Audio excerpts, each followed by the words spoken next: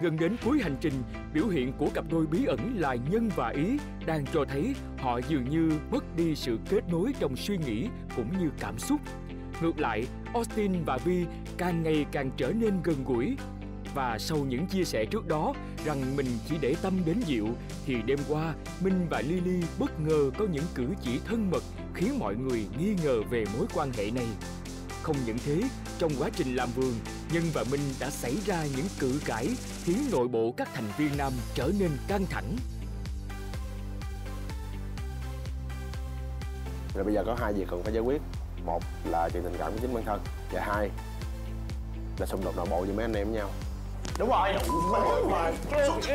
Anh biết vì sao mà em biết anh thích ý mà em vẫn nói ra được đó. Họ khóc ấy. Còn hiểu lầm anh không? Còn xíu à. Chuyện gì? Sau hoạt động làm vườn khá là vất vả, các thành viên Love House trở về nhà chung để cùng bà Mabio chuẩn bị một bữa ăn vô cùng đặc biệt.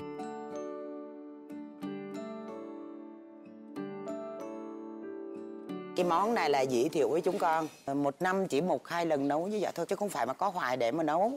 À, Tại cái món này là món của người dân tộc Chu mấy bà. Rất là đặc sản Tại vì cái này là khách quý mới được nấu. Ở trong này là gồm những gì bà? Da trâu, cà đắng, xả, cà chua, ngò gai.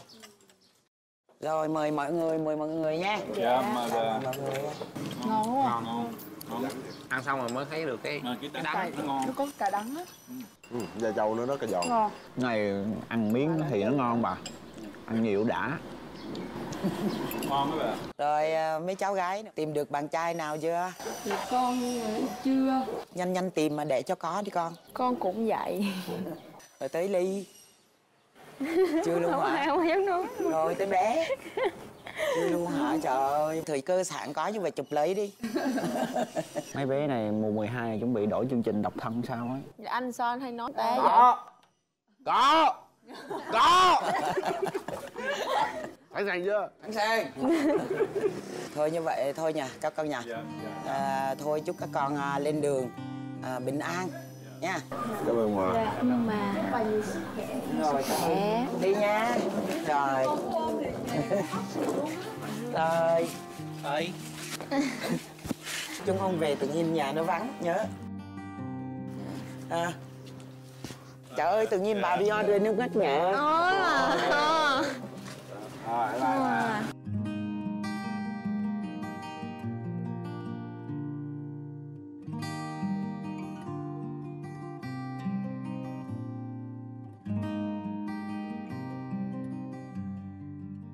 Thật khó khi mới đây thôi đã phải nói lời chia tay và đằng sau những giọt nước mắt hôm nay họ sẽ khó có thể quên những kỷ niệm về nhau của ngày hôm qua. Một vùng ký ức đẹp còn lưu mãi trong mỗi người. You.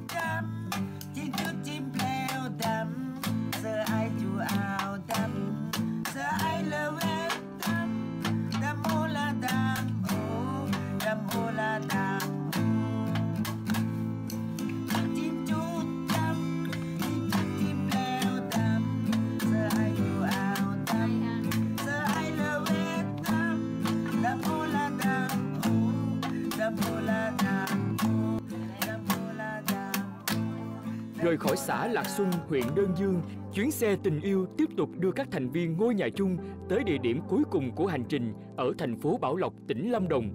Dừng chân tại Vintage Gardens với mô hình nghỉ dưỡng kết hợp nông trại đem đến một không gian rộng mở, gần gũi với thiên nhiên thì nơi đây không khó để tìm thấy những khung cảnh đầy thơ mộng và lãng mạn. À, ok vậy được đây bữa nay rộng rãi chị ha chị thích nằm bữa đây nè. Ừ chị ra ngoài. Ừ. Ra ngoài nè. Ôi chết rồi. Về tới nhà chung mới, các thành viên nữ vô cùng hào hứng và thích thú. Thế nhưng, không khí bên phòng nam thì ngược lại. Dù không nói ra, nhưng tất cả đều cảm nhận được sự căng thẳng giữa Minh và Nhân. Tao thích rất là ngắm bầu trời cái này nha Ê Tuyết Hay là tối mua ít gì đó, muốn anh em mình ngồi vòng tròn này, vòng cung ở đây nói chuyện tâm sự. Bốn anh em à. Bốn anh em à. À quên ba anh em thôi. Không có đứa có bồ đi chơi bồ đi để ba anh em một thân ngồi đây tâm sự cắm trời mấy chứ. Nói như vậy là không đâu đúng sai vậy mình không thích chơi nhau mình thích chơi nó thẳng luôn đi mình nói chi mà. Nói gì đó buồn quên. Cái chuyện nó vậy là hôm bữa nhóc nhân có nói về minh lại gặp đến minh như kiểu là ừ nhân nó tự thấy mình không có bằng ba anh em. Như mọi như mọi khi mà nhân hay giỡn á thì tụi mình hay nói là minh ơi giỡn cái tính chổng trẻ trâu quá à. nó là câu vui. Thì nhân cũng nói lại như vậy thì ở ngoài minh nghe được thì hôm qua lúc mà ngồi trên suối á minh nó hỏi là hôm bữa là em nghe nhân cái chửi em trẻ trâu không? Thì mình nó không có anh nói nó giỡn vậy thôi. Nó nói cũng như mỗi lần mà nó giỡn anh em mình với nhau có thể là tại minh vẫn đang bực chỉ câu nói giỡn đó của nhân. Nó là cặp đôi với ổng. Thề nó mất chiếc xe mà nó làm gì có xe mà mất. Có lý. Không em mà giỡn vui rồi em không có bao giờ mà em đòi đánh ai thấy không? Nó nói vui thôi. Chơi ta anh em chơi vui thôi. Sổ sổ để cho em, cho cho nó biết thế nào là hay hay hay thể hiện. Thì tất nhiên là phải giải quyết, tại vì hôm nay chỉ còn có 24 tiếng nữa là kết thúc chương trình rồi. Rồi bây giờ có hai việc cần phải giải quyết. Một là chuyện tình cảm của chính bản thân, và hai là xung đột nội bộ với mấy anh em với nhau. Thì anh, nói thẳng luôn, bây giờ anh không có muốn xung đột xảy ra với mấy anh em. Đừng có gì những cái câu nói chỉ là vô tình với nhau thôi cà khịa khịa nhau thôi, trở thành một cái vấn đề rất nghiêm trọng. Cho nên bây giờ anh muốn hai đứa giải quyết đi ví dụ như mà mình nói với người ta làm sao á, mình gặp ngồi như trước mặt nhau mà nói ví dụ anh với minh ngồi trước mặt nhau là minh tính em hay giỡn em hơn nít một tí. Lâu lâu nói mấy câu hơi bà trẻ trâu hơi bà xà bà láp. Thà nói trước mặt nhau giải quyết được vấn đề. Mình muốn góp ý với người ta gặp nhau giống như hôm bữa em đi vô em gặp anh anh rất là quý em. Chứ ngồi ở ngoài mình nói chuyện với nhau có gì đâu phải không? Ừ. nói thẳng luôn có gì đâu ừ bình thường. Em thì em không làm gì nó đó nhưng mà cho anh thành biết là ai đụng vô em sẽ thấy. Ừ. Em nói vậy thôi chứ ai ai ai làm gì nó đâu giỡn cho vui. Ừ. cho nó biết là đó là mình, mình không có học hiền á. hiểu không? nhưng mà em chắc chắn là lúc đó không phải là em đang kể lể một cái gì đó em nói xấu để nói xấu ba người. đang so sánh. Không có cái lý do nào mà em đem tự nhiên em đem em so sánh với ba người. Nó phải có một cái gì tất đó. nhiên cách nói chuyện của em cái lúc đó em so sánh thì lại không có dùng đúng từ phù hợp.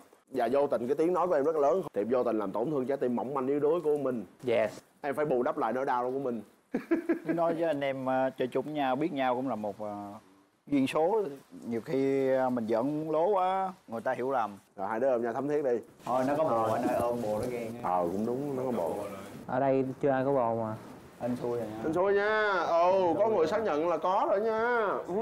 ừ, thế nhận là hơi sai nha. Đây đây đây để em nói cho nghe nè. Cái chuyện mà sắp có bồ hay không có bồ á, thì còn 24 giờ em nghĩ anh nên suy nghĩ chín chắn một tí nếu có đến được với ý hay không á không phải là quyền quyết định của một mình em ừ hoặc là một mình ý. Em nghĩ trong phút cuối thì anh nên ờ, quyết định một cái quyết định mà anh sẽ không hối hận về sau này. Ý thì anh nói thẳng có nhân luôn. Anh nói đi. Anh biết nhiều hơn em nghĩ. Ừ. còn chuyện anh thích ý là ngay từ buổi đầu tiên. Anh vừa gặp ý là anh đã đổ rồi. Trong suốt chuyến đi từ sài gòn lên tâm châu ý là người chủ động gọi tên anh nhớ không và sau đó ý cũng chủ động xin được anh chở đến tận đà lạt. Tụi anh nói chuyện rất nhiều thì lúc đó thì ý, anh mới hỏi ý một câu em thích anh không? Và ý cũng có nói một câu em mới cảm tình với anh thôi. Thì chương trình hẹn hò mà anh có thể tìm hiểu thêm một người hai người ba người bốn người. Thì lúc đó thật sự trong đầu anh chỉ thắc mắc hai người đúng hai người đó là ý và Lily. Thì sau khi giải quyết được cái vấn đề của bạn Lily ok anh biết bạn ấy như thế nào rồi. Thì cái đó là quá muộn cái đó là cái sai của anh. Nếu mà nó hối hận chắc chắn là có bây giờ chương trình nó không có ép buộc mình phải có người yêu. Thì đúng. Nhưng mà chương trình rất là muốn chúng ta sẽ tìm hiểu cô gái đó được một nửa của mình để đi để đi về. Đó. Phải mà em tìm hiểu ờ, diệu ok rồi. Tại biết sao trong đầu em lúc nào ờ, diệu cũng là một cái nhìn đầu tiên giống như anh với ý thì em luôn nói với mọi người là diệu là người em ít giỡn nhất. Đúng. Người em ít nói chuyện nhất để em nhìn diệu tìm hiểu diệu. Nhưng mà sau em tìm hiểu rất là nhiều em đánh lạc hướng em thích người này thích người kia. Cảm giác người này kia em không thích diệu nhưng mà thực chất là em đang thích diệu và em tìm hiểu diệu. Khi mà em tìm hiểu thấy rồi thấy diệu rất nhiều điểm chung với em. Nhưng mà người có nhiều điểm chung á thì không hạnh phúc không hợp nhau đúng. Không hợp nhau. Chứ người em thích từ đầu đến cuối đến bây giờ vẫn là diệu. Rồi ngày mai anh có quyết định tỏ tình không? Ờ, chưa biết để xem sao. Chưa biết. Tại cái chuyện tỏ tình với Austin là chuyện rất là lớn luôn. Thật sự luôn. Mình phải rất là thích người ta mình mới... em em cũng vậy Đó, đúng rồi. nhưng mà ngày mai em vẫn muốn tặng cho diệu một món quà. Ở tình tỏ tình đầu. Em tỏ tình hai anh tỏ tình ba tỏ tình cuối. Ok. Cái gì sao anh lại tỏ tình bà thì anh đã anh nói thẳng người anh tỏ tình rồi. Thì anh có tỏ tình hay không tỏ tình thì anh cũng tỏ tình người đó thôi à. Đúng không? Ok. Anh đâu có tỏ tình ai khác. Anh không có quan trọng là ai khác nhưng mà em muốn em là người cuối hoặc là gần cuối em là phải một là mở màn phải mở đầu, là thứ hai. Đầu xuôi đuôi lọt Vậy là những mâu thuẫn bên trong các thành viên nam cuối cùng cũng đã được giải quyết. Và vấn đề mà họ quan tâm lúc này là việc có nên hay không thổ lộ tình cảm của mình với đối phương. Khi mà giờ đây tất cả chỉ còn chưa đầy 24 tiếng để ở bên nhau.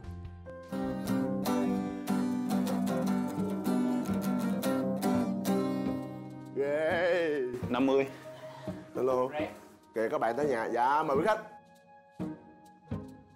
Ủa bệnh chán quá hả gì Qua chơi thăm nhà thôi Và tận dụng khoảng thời gian ít ỏi này, các thành viên ngôi nhà chung quyết định tụ lại bên nhau cùng đàn ca vui đùa. khi hai ta về một nhà khép đôi mi chung một rừng đôi khi mơ cùng một sân thức giấc chung một giờ Trong bầu không khí vui ca, có một chàng trai đang cảm thấy bối rối khi ngồi gần người mà mình thầm thương bấy lâu nay. Thế nhưng giữa họ lại là muôn vàng sự hiểu lầm. Và có vẻ Lily đã phát hiện ra sự bất ổn trong tâm trạng của chàng trai lúc này. Có phải là anh thích chị Diệu đúng không? để tới ngày cuối cùng được không hay là phải trả lời luôn ngay bây giờ Cũng thắc mắc là tại sao chị Diệu ngày đầu tiên chỉ vui vẻ với anh Xong bắt đầu từ ngày thứ hai là chị né anh không?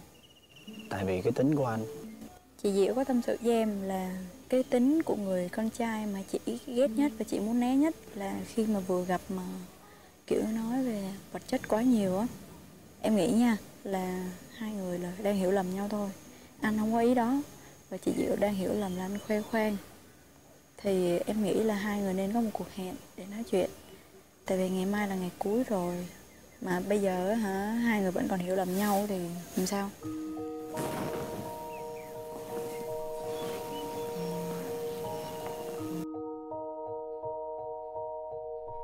Cái gì khó nói hả? Giờ em nghĩ anh nên làm cái gì? Giờ anh anh đang nghĩ cái trong lòng anh nói nghe rồi tại vì anh ờ, quá đặt nặng cái vấn đề gọi là tìm một người để mình thương á. Ừ.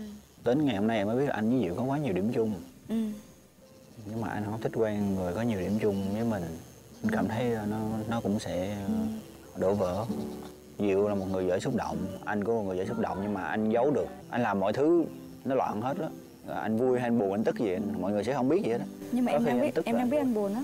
Không anh buồn bởi vì ờ, những cái mà ờ, mọi người không nghĩ xấu về anh thì Diệu đã nghĩ xấu hết rồi. Còn gì nữa đâu mà nói. Sao anh biết? Chị Diệu không thích anh. Chị Diệu chỉ là có ấn tượng xấu vì cái lần đầu mà đã đi chung với nhau mà anh nói những cái chị không thích rồi. Đó là hiểu lầm thôi. Nên anh mới cần có một cuộc nói chuyện để anh giải thích ra. Muộn rồi hôm nay còn ngày cuối rồi kịp. Anh không nói là không kịp á anh không nói là hối hận á. Nè người con gái anh thích anh muốn tìm hiểu anh muốn đi xa hơn với họ. Mà họ hiểu lầm anh. anh muốn đi xa cho nên anh mới lúc nào anh cũng nhìn theo dõi hết á. Anh không cho Diệu biết là ừ à, anh Trời anh theo dõi Diệu. Nhưng mà anh anh đang bị cái gì anh biết không? Có nghĩa là chúng ta chỉ có 8 ngày thôi 8 ngày bên nhau. Anh không nói luôn anh để người ta hiểu lầm luôn và anh mất người ta mãi mãi. Anh chấp nhận vậy hả? Chị diệu là người tốt nha em ở chị diệu em biết nha. Anh là người xấu. Không em không có đánh giá ai hết á nhưng mà em thấy anh tốt bụng. Anh cũng tâm lý á chỉ có có vài cái là em không thích thôi. Và em cũng có nói thẳng, nói thẳng với anh rồi. Anh hiểu ý em không?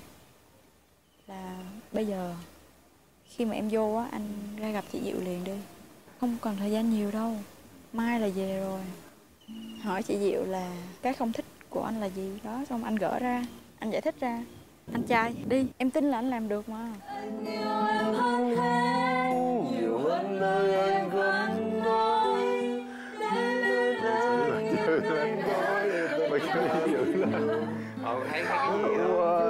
Phôi phai đưa bên nhau môi sớm thật đẹp có khi nào ta xa có sợ có sợ mắc mưa không? Không sao đâu anh. Không, mắc mưa em bệnh á không sao đâu anh cứ đó nói nói nhanh mà. Sao mấy bữa giờ vui không? Dạ vui. Đây là lần đầu tiên anh nói chuyện nghiêm túc với em chắc cũng là lần cuối cùng luôn á. Nghe cuối cùng thấy sợ quá anh. Thì anh cũng biết em không thích anh nhiều thứ mà đúng không? Ờ, ít thứ thôi không có nhiều. Em cũng biết anh cũng không có thích em nhiều thứ á. Không không có. Không em biết mà không sao đâu. Cái đêm đó anh nói là em cũng biết sơ sơ mà không có sao em không có giận. Không anh nói chuyện với nhiều người anh giỡn nhiều người. Anh mọi người cứ nghĩ là anh lúc nào cũng ờ, nói chuyện với mấy- mọi người giỏi lắm. Nhưng mà em thấy mỗi lần anh ở gần em là anh anh anh sợ anh sợ run chứ không phải. Anh run anh anh giỡn mọi người thì được. Nhưng mà khi mà anh em bị nghiêm á không anh anh Nghiêm không ngoài với không? em. Tại vì anh anh thích em cho nên cái anh mới có cảm giác đó. Lại như vậy hả? Không cái điều này ai cũng biết hết chỉ có em là không biết thôi. Nói thật lòng á em chưa có đến cái mức là ghét anh đâu. Em là người anh theo dõi từ đầu chương trình tới cuối chương trình. Em vậy nè em lại nghĩ em là trường hợp dự phòng thôi. Có nghĩa em biết cái ngày đầu tiên anh ấn tượng nhất. Em mới nghĩ thôi nha anh nhìn của một người khách quan là anh ấn tượng là em nhất. Xong rồi qua ngày thứ hai thì là chuyển qua ly. Xong đến bây giờ trường hợp dự phòng có nghĩa là ly nói thẳng là coi anh như anh em.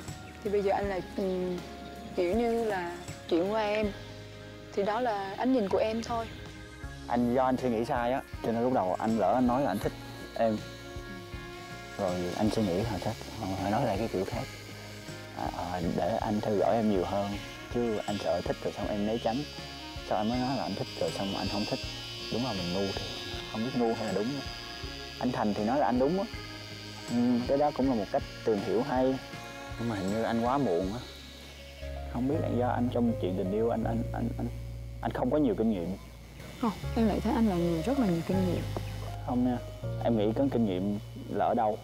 Sao mà em thấy được điều đó? Qua những cái chuyện gì? Không thường thường bạn em mà nó có vị trí như anh hoặc là ngoại hình như anh hoặc là kiểu kiểu giống như anh á nó, nó sẽ có rất là nhiều mối tình á mối tình ở đây ờ, có nhiều dạng. Tình một đêm, hoặc là nhiều nhiều tình qua đường, hoặc là gì đó. Có tình một đêm, tình qua đường. Nhưng mà đến cuối cùng thì người đó vẫn phải có một người vợ, vẫn phải cưới hôn, vẫn phải có một gia đình để chăm sóc gia đình của mình. Anh thì qua cái tuổi đó rồi. Chung anh chỉ muốn có một gia đình thôi. Như vậy cũng được nè. Anh nói là đánh đổi mọi thứ để có những thứ như vậy yên bình. Anh muốn có một hạnh phúc á. Như bé bé ly bé ly nó dễ thương, nó kêu á em biết anh là không có gì nhưng mà em sợ chị diệu ờ, nghĩ anh này nọ nghĩ anh ờ, hay khoe về tùm lum á. Bé ly nãy nói vậy đó. Trời ly phản chủ. Tôi cũng không định giải thích nhưng mà bé ly là người mà động viên nhiều nhất bé ly kêu hãy nói. Anh cũng kêu thôi nếu như em hiểu lầm vậy là chắc là mình không có duyên. Bé ly nhìn ra hết à? Nó hay chứ. Nó ra nó hỏi anh là bây giờ còn ngày cuối à? Anh nói thẳng với chị diệu cái gì trời? Anh lúc đó anh không biết gì luôn á. Anh ngày cuối cùng anh không nghĩ là con bé nó nghĩ vậy. Thì anh cứ nghĩ là con bé nó nghĩ là anh thích con bé. Ai cũng nghĩ vậy hết mà. Ừ. Nhưng con bé nó nhìn nó kêu hôm nay là ngày cuối cùng của anh mình. Chị diệu là người tốt. Em nghĩ là anh nên nói chuyện với chị diệu đi. Giờ em biết anh thích chị diệu. Rồi bé nói là em sẽ là em gái của anh. Rồi anh hết hồn nữa anh kêu không nghĩ con bé nó nhận ra điều đó. Rồi anh cũng không có dám nói nhưng mà thôi anh nói. Còn có ngày nữa à. Thôi nói rồi. Anh sợ em hiểu lầm anh á đặc biệt là sợ là lỡ chuyến tàu. Thì cái điều mà anh anh thích nhất là kiểu như là chỉ muốn nắm tay Diệu á. Sao thì á nắm tay xíu thôi cũng được. Xíu rồi hả? Sao tự nhiên anh em thấy anh nói chuyện em cứ mắc cười đó. Em phải bị xì cái cười á. Hay bị mắc cười đó. Anh nói thiệt tại vì mọi người quen á ai cứ thấy khi anh nghiêm túc á mọi người cứ nghĩ anh giỡn hai anh em mình vô mưa. Á. đúng không? Mưa nhỏ mà. Mưa to. Mưa to à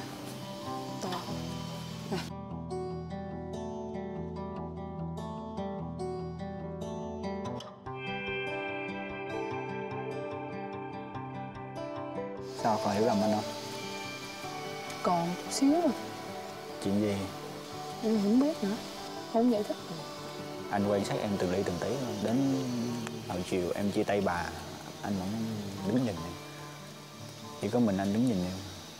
Em khóc xấu lắm nữa em có quá nhiều cảm xúc lắm. Cái điều đó làm anh buồn. Không em thương bà thiệt. Bởi vì bản bản thân bà tốt quá. Đôi khi anh có nghĩ là đôi khi vẻ bề ngoài thì người ta chỉ cứng rắn thôi. Em cũng giống anh thôi. Anh cũng cứng rắn ra đường này nọ kia khác. Nhưng mà đâu có ai hiểu bên trong mình là như thế nào. Ngày hôm nay có lẽ phải lấy hết tất cả dũng khí thì Minh mới có thể nói ra được chừng đấy những tâm tư tình cảm của mình dành cho Diệu. khi bên anh em thấy điều gì nước mắt rơi vẫn kề lần mi. Người từng làm em khóc người từng khiến bàn tay rời xa lạnh lùng bước đi. Và con tim đã vui trở lại khi giờ đây những người yêu nhau đã tìm được đến với nhau. Thế nhưng sự lo âu vẫn còn đó khi chưa ai biết chắc mình có đang yêu nhầm người bí ẩn. Lúc đi hết mình, lúc về có bồ. Yeah. Ăn Ồ cảnh đẹp quá. Nhìn này giống như một bức tranh. Ý, sống chết ghê hết. Cái cảm nhận riêng của anh nè là có thể có hai cặp. Có thể thôi. Anh nghĩ không? hoặc là một trong hai cặp. Anh nghĩ có thể Tin. có luôn. Không, em nghĩ phải có, chắc chắn phải có. Rồi. Hai là nhân. Vậy chị ly? Ờ ha. Không ban đầu là em nói không kể chị mà em ờ, có cảm tình với anh nhất. Ai biết đâu, diễn thì diễn sao bây mà giờ thích nhân? Tại vì anh không phải gu người ta anh im im cái bữa BBQ đúng không thì ngồi nói chuyện thêm là em nhìn anh nhân thấy anh nhân làm đồ ăn này kia thì kiểu cái gu của em là thích một người nấu ăn. Kiểu em muốn nấu cùng em cũng có tâm sự với mấy chị mà rõ ràng như vậy mà. Từ bữa đó anh nói thích em xong hai đứa đi nói chuyện với nhau ở rừng đó. Mà mấy nay ảnh kiểu anh lơ lơ với em thì em Em hơi buồn, không? hồi nãy nói tới chị đó em hơi buồn thì em cảm suy nghĩ lại. Nên là em gái em, anh em buồn. Nhiều khi con bé này chồng cuối luôn ta nhiều khi con bé này chồng cuối luôn ta trời trời. Bữa anh mới nói anh tin em. Nhưng mà có những cái không bao giờ giấu được. Đúng rồi đã là cặp đôi là cặp đôi. Giống như em Austin không giấu được đúng không? Ý mọi người vậy chứ gì?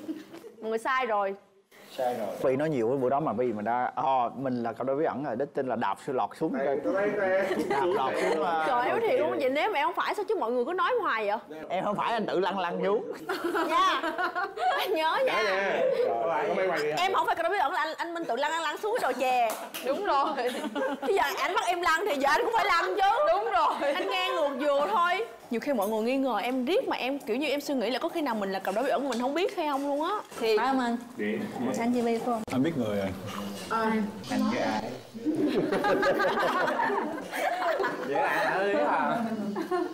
mọi người đáng kịch bản nhà là lên trển tụi mình phải giận nhau nha em. Tụi mình giận nhau trong tới ngày đó đến ngày đó ngày đó ngày đó ngày đó là tụi mình hết giận nhau nha em. Chị Vinh Thành đó. Không, chị với anh Minh Chị với anh Minh.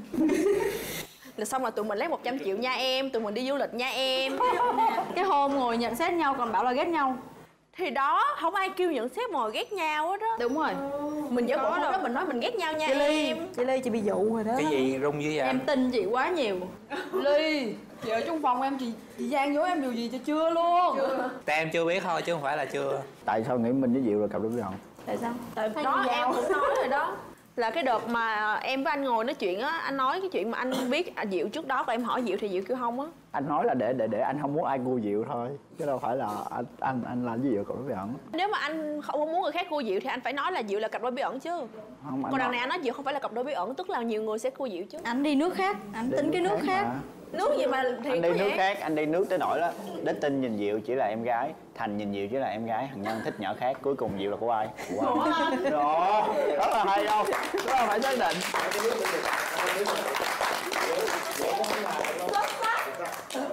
Nhưng mà nếu mà cuối cùng mà có thì vẫn cứ ờ, hai chục ha. Bốn chục luôn cũng được. Ok bốn chục luôn rồi double luôn. Em bốn chục anh sáu chục luôn cho ok chồng hai anh em mình một trăm luôn. Hai anh em. Ơ hai. Anh em hai, mình. Hai vợ chồng mình. Đúng rồi rồi đứa mình. được luôn. Hai vợ chồng mình 100 triệu luôn. Có vẻ sau bữa ăn hôm nay, tất cả các thành viên đã đề phòng hơn với những cặp đang thành đôi và trong đó có cả cặp đôi bí ẩn. Giận chị rồi. Thế chị nghĩ em em em ngủ chung chị mấy ngày nay mà chị còn nghĩ là coi đỡ bí ẩn. Hồi bữa hôm qua tụi anh Minh vô phòng em nè hỏi anh Minh là sao anh Minh kêu là từ đầu đến cuối anh chỉ thích một người thôi. Mà trước đó anh Minh nói là từ đầu anh Minh thích chị Diệu nhưng mà sau đó anh chị Diệu kỳ quá nên anh Minh không thích nữa. Anh thích mang tiếng hát cho mọi người cho mọi người vui. Cho tim của mình anh biết đàn à đúng không em đánh đúng được cái điều mà ý cần. Và sau đó em cũng nói em thích ý anh mừng gì em mới nói ra điều đó trước anh. Anh biết vì sao mà em biết anh thích ý mà em vẫn nói ra được câu đó không? Anh không quan trọng. Người nào nắm bắt cơ hội tốt thì người ấy có thôi. Vui lên đi. Thiệt. Anh thấy mày hợp với ý hơn anh cùng lắm độc thân tiếp gì đâu. Đường vào tim em môi băng giá Trong cơn mưa đêm đầu mùa, chất chứa vô vàng những cảm xúc. Tất cả các thành viên ngôi nhà chung đều biết rằng họ chỉ còn mỗi đêm nay để cùng nói ra hết những nỗi niềm còn vương vấn trong lòng. cũng là ngày gần cuối rồi. Mọi người là cũng có được 7 ngày bên nhau. Thì thôi bây giờ chơi trò chơi vậy đi. Mỗi người sẽ kể một cái cảm xúc hoặc là những cái kỷ niệm gì bạn thấy vui nhất của chuyến đi này? Đúc đúc đồ ha.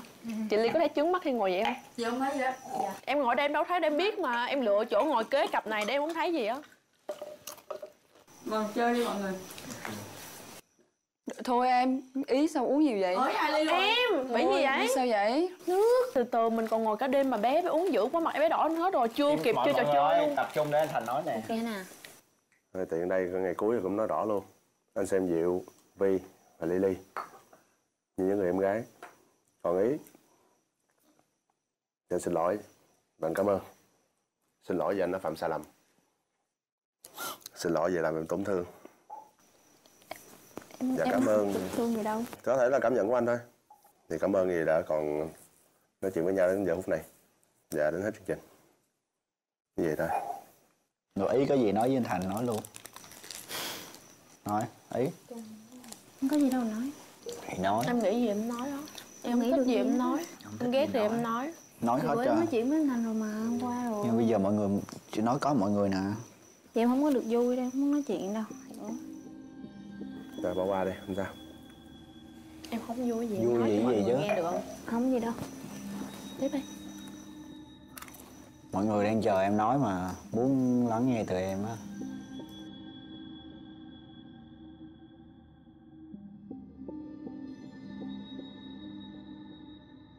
thử xem đi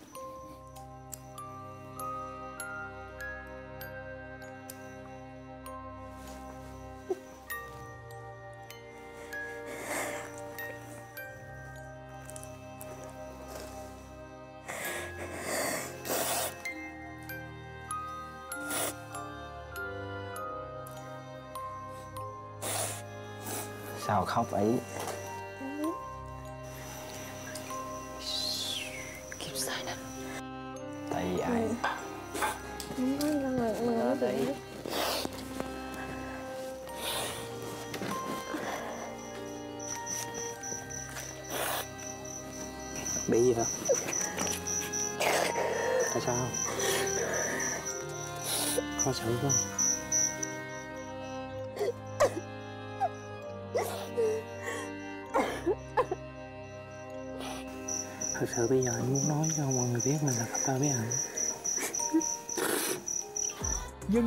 Đang có quá nhiều áp lực và khó khăn khi phải che giấu thân phận thật của mình.